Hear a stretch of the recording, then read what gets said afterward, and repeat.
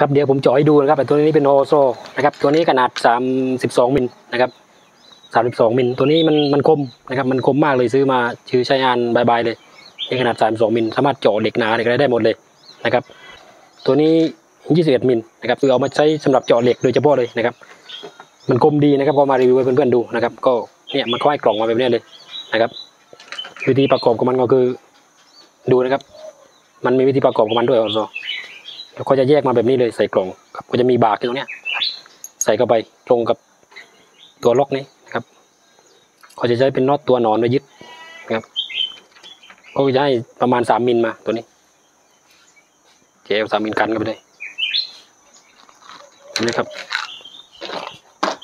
ก็มาต่อกับสว่าน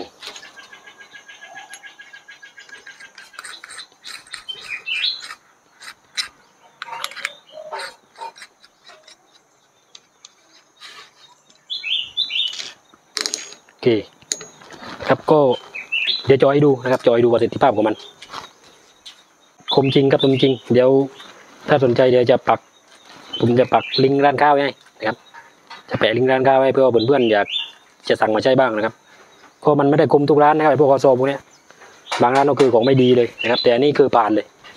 คือผมใช้อยู่นานแล้วก็เลยนึกอยากจะรีวิวให้ดูนะครับ ใช้จนจนเก่าแล้วนะครับ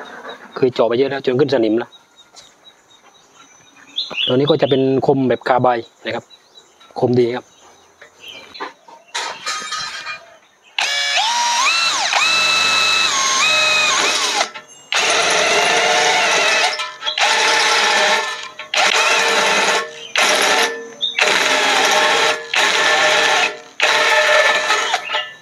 ครับ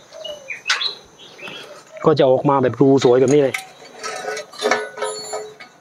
คือไอ้พวกเหล็กกล่องอะไรพวกนี้เจาะสบายเลยนะครับก็